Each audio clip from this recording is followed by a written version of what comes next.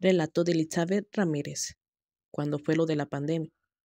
Se tuvieron que cerrar muchos negocios. Un 6 de abril del 2020, justo a las tres y media de la mañana, en la calle se escuchó un sonido bastante fuerte en una sola nota, literal, como si fuera de una trompeta. Cuando lo escuché, me dio mucho escalofrío y miedo. Y lo que me llamó la atención fueron los perros de los vecinos que empezaron a aullar y a chillar. Se oían muy asustados y yo nunca los había escuchado así.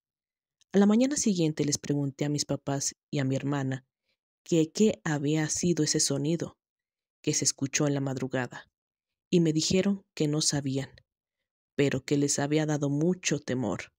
Ya más tarde me puse a investigar en el Internet y resulta que ese sonido también se había escuchado en Argentina y España, el mismo día, pero en diferentes horas.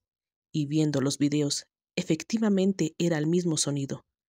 A quienes les platiqué, me dijeron que lo más seguro es que haya sido un sonido cielo moto.